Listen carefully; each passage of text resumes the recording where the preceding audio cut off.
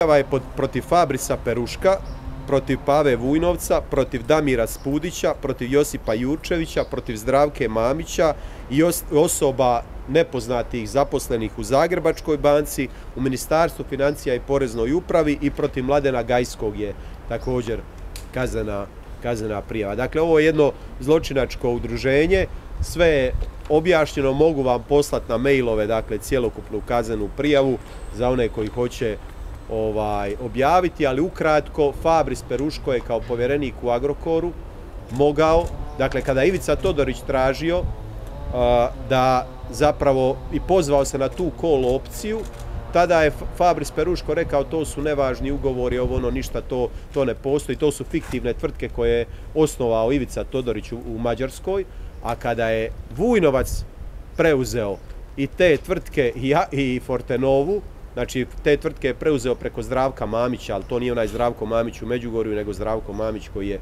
njegov pouzdanik Vujnovčev. Tada je Fabris Peruško rekao to su sve u redu tvrtke, sve to igra. Dakle, imamo taj odgovor da su te tvrtke fiktivne dok je Ivica Todorić to tražio i nakon preuzimanja Pave Vujnovca sve može, idemo sklopiti dogovor o preuzimanju.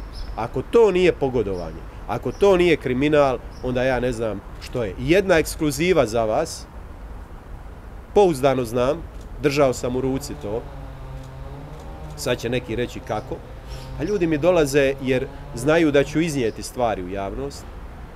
U Uskoku i Dorhu postoji svjedočenje koje ozbiljno tereti Pavu Vujnovca, a vezano je u slučaj 3D rada. I prema tom svjedočenju Vujnovac bi već bio, trebao biti pozvan na obavjesni razgovor, u najmanju ruku moguće i priveden. DORH ništa ne poduzima po tom pitanju. Postavljam pitanje DORH-u što je sa svjedočenjem protiv Vujnovca u DORH-u za slučaj 3D rada. Taj slučaj 3D rada vam je povezan sa ovim plinskom aferom, dakle milijarde kuna iz INE o kojoj tek posljednjih dana govori predsjednik države Milanović, nije puno o tome govorio kad je izbila afera.